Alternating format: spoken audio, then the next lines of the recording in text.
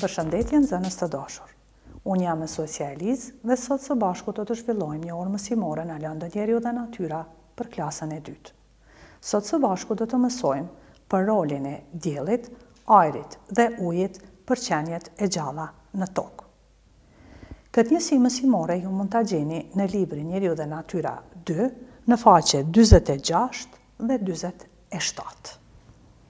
Fillimisht dua t'ju pyes çfarë po shihni në këtë pamje? Edhe pse nuk ju kam afër, unë shumë mirë po e di përgjigjen tuaj.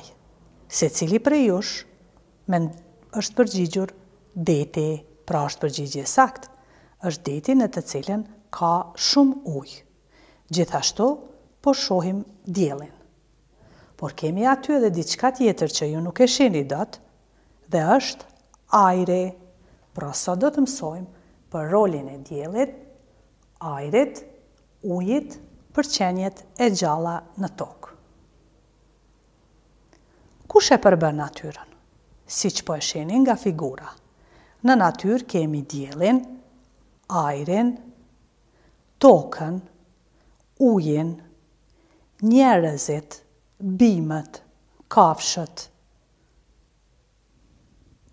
Dhe të gjitha këto, duke kaluar mësim pas mësimi, ne i kemi ndarë në dy grupe, në natyrën e gjallë dhe natyrën jo të gjallë.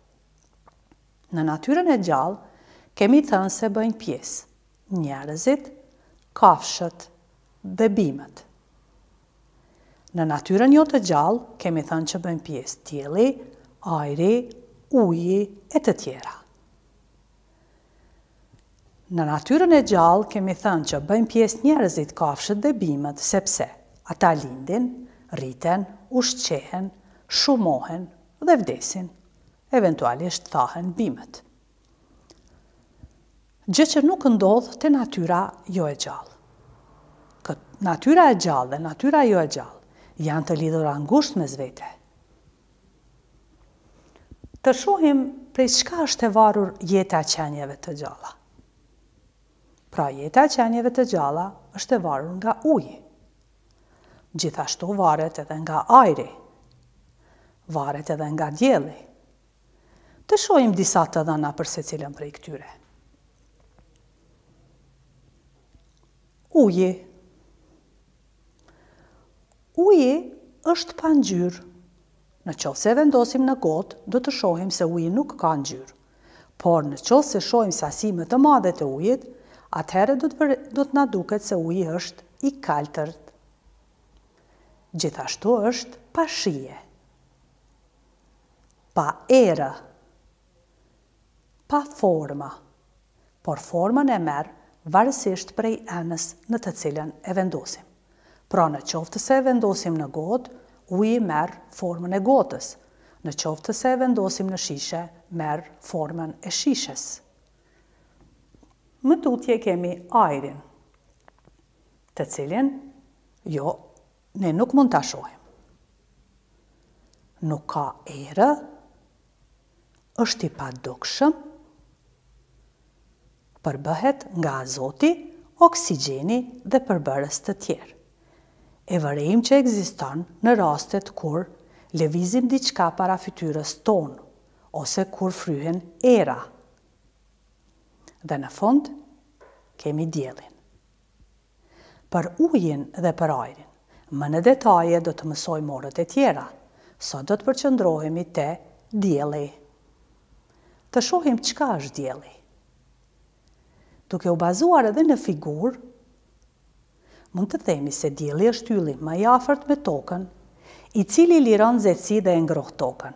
Pra po e shihni në figurë se si dielli me rrezet e tij po ngroh tokën.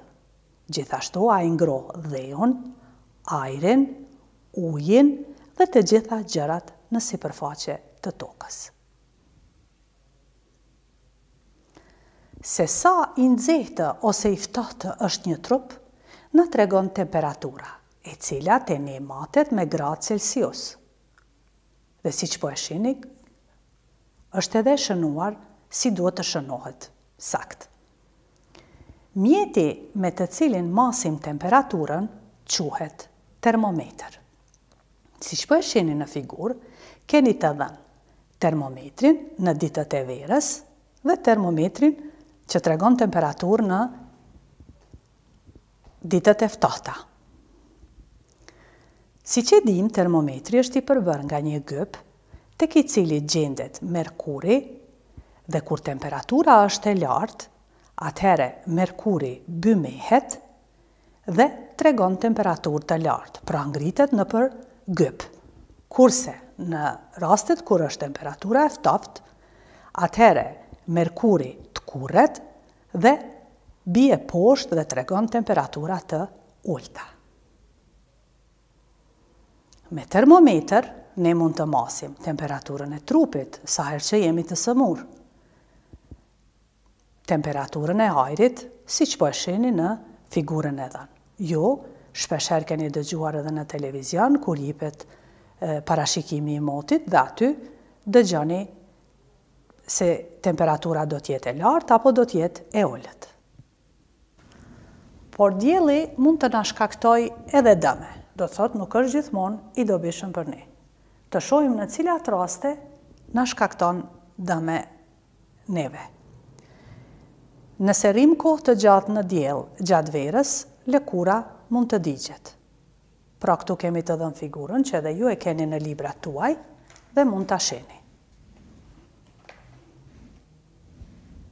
Mund të kemi marramendje, kokëdhembje dhe të vjella.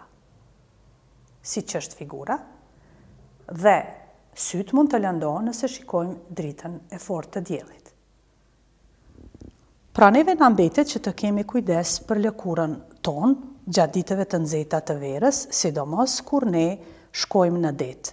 Duhet të kemi kujdes për kohën në të cilën dalim në plazh. Po ashtu duhet të kemi kujdes për sytë të mos shikojmë dritën e diellit, por është mirë që vazhdimisht të bartim syze.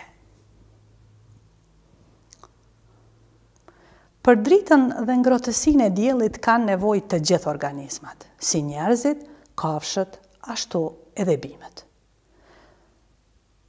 Por, çka iu duhet bimëve dielli? Bimët e përdorin energjinë e diellit që të krijojnë ushqim. Me ndihmën e energjisë së diellit, Bimët krijojnë ushqimin nëpër gjethe. Dhe pastaj me bimë ushqehen kafshët, siç po e shihni në figurën e dhënë.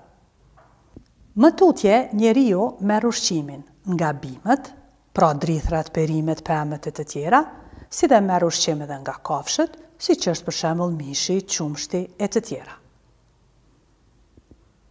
Sikurse që e pamë më herët se kafsha ushqehet me bimë, pastaj njeriu ushqehet me bimë dhe me merr produkte edhe nga kafshët, të njëjtën gjë e shohim edhe tek kafshët. Pra këtu kemi të bëjmë me ciklin e qarkullimit të materies, siç po e shihni, kemi të paraqitura disa kafshë nëpër mjediset e veta jetësore, siç po e shihni tek figura, karkaleci qëndron në bar, bretkosa, pastaj gjarpri dhe shqiponja. Dhe nëse shohim ciklin e qarkullimit të materies do të shohim se karkaleci ushqehet me bar, Pastaj Bretkosa e ha Karkalecin, Gjarpri e ha Bretkosën dhe Shqiponja e ha Gjarprin. Dhe të gjithë organizmat pas një kohe vdesin. Trupat e bimëve dhe të kafshëve kalben dhe zbërthehen në materie minerale, të cilat përsëri bimët i shfrytëzojnë për të krijuar ushqim. Detyrë shtëpie, do të lexoni njësinë mësimore në faqen dyzet e gjashtë dhe dyzet e shtatë dhe pastaj do të punoni fletore pune faqe tridhjetë e dy. Suksese dhe mirupafshim në orën e ardhshme.